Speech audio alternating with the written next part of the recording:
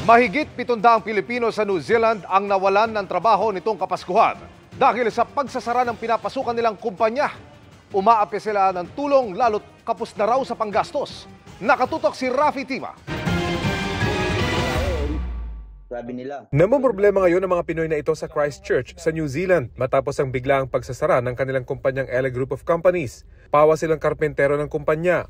Apat na araw bago magpasko at isang araw bago sila sumweldo, bigla na lang daw silang sinabihang magsasara na ang kumpanya. Wala pong abiso, papasok na po kami ng umaga, tsaka na po kami, tsaka po nag-text sa amin na huwag kayong pumasok, Ah, may Zoom meeting po tayo. Sabi nila. Ganun lang po.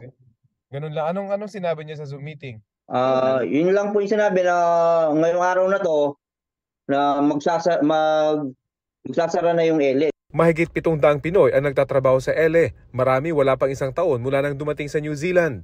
Tatlong taon daw ang kanilang working visa pero hindi sila pwedeng lumipat agad ng trabaho. Naghihintay kami ng ano, variation ng visa namin kung kailan lalabas yung bagong visa namin. Kaya lang habang naghihintay ito, ganito. Tambay. Dahil hindi nakuha ang kanilang dalawang linggong sahod, marami raw sa kanila wala ng panggastos. Nauwi na raw sila sa pangingisda, may ipang ulam lang, dagdag sa pagkain binibigay ng mga kababayang Pinoy. Yung nagpapa-operate, yung Pilipino rin, nahawa sa amin. Sagnabihan kami na, sige, dyan muna kayo hanggat wala.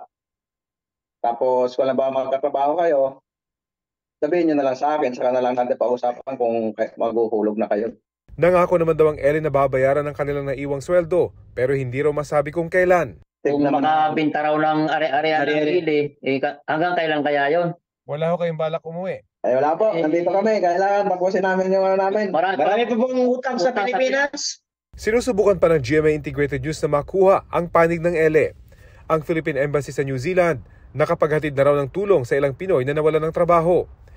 Nagsimula raw silang mamahagi ng ayudang 600 US dollars o mahigit 30,000 piso mula pa noong nakaraang linggo. Panawagan ng mga OFW na ito sa Christchurch sa kanilang mga kaanak dito sa Pilipinas, huwag mag-alala sa kanilang kalagayan. Pero sana raw, makarating na rin sa kanilang ayuda ng gobyerno at makahanap na sila ng bagong trabaho. Tumatawa lang po kami, pero ma- ano na, masakit na. nasakit na. Wala na kami may padala eh. Para sa GMA Integrated News, Rafi Tima nakatutok, 24 oras.